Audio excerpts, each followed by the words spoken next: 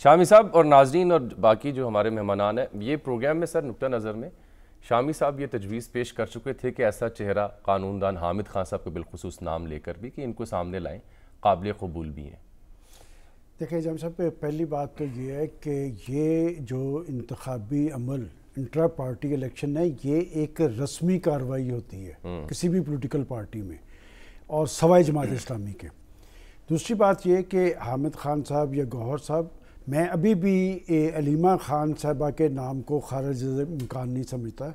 इसलिए कि जैसे अभी शामी साहब ज़िक्र कर रहे थे, हमारा बड़ा अलमिया, सियासी अलमिया ये है कि पाकिस्तान की जो सियासी क्यादत है, वो तारीख से सबक हासिल नहीं करती।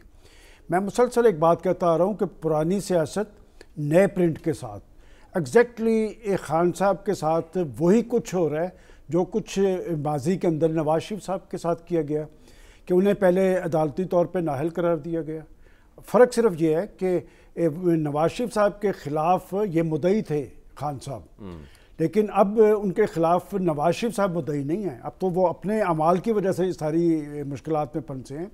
और फिर वो उन्हें जो पार्टी लीडरशिप से देखिए आप खा कुछ भी कर ले पार्टी जो है वो इमरान खान का नाम है। सेम उसी तरह जिस तरह नवाज़ शरीफ साहब उन्होंने नाहल भी करार दे दिया सदारत से भी हटा दिया।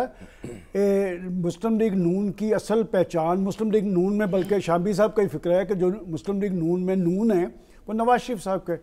और इसमें भी ए, ये जो कार्रवाई होगी एक रस्मी कार्रवाई होगी और अगर वो पीछे हटे हैं जो आपने एक सवाल उठाया है कि जी उसकी तस्दीक या तरदीद सब कुछ गवाह के होश में आए तो क्या हुआ? बात यह कि फ़ौज एक कौमी फ़ौज है।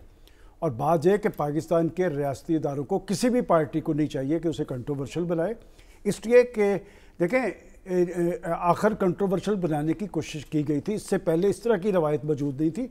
डिक्टेटरशिप को ज़रूर टारगेट किया जाता था पोलिटिकल फोर्सेस की तरफ़ से। और पोलिटिकल लीडरशिप की तरफ़ से।